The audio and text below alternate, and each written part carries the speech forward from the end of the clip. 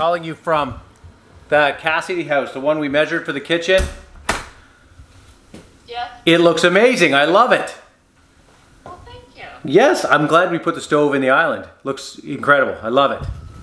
You're welcome.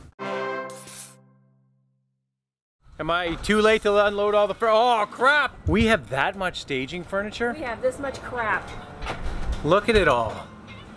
This is all the crap you wanted to keep to refinish. Well, we should put it for sale. This is nice stuff. Yeah, if you Maybe- refinish it. Well, let's refinish it then. I don't know why you're so Not my grouchy. Okay, well, I'll, I uh, gotta, I gotta run. I gotta go do something. So, what do you need help with?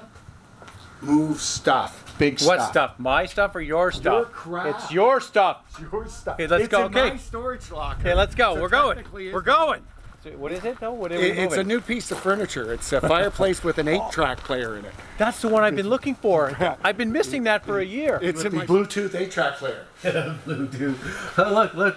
It goes to 11. I got my Trooper eight-track if you'd like to borrow it. Well, play it. We have to. It is pretty neat. You have to admit, like, it's not like I wouldn't run to the store to buy it, but it is pretty cool.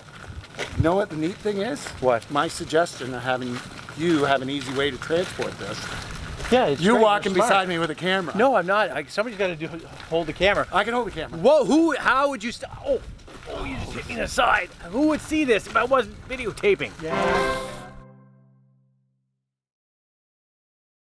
I'm not kidding, Aaron. This will sell on Facebook.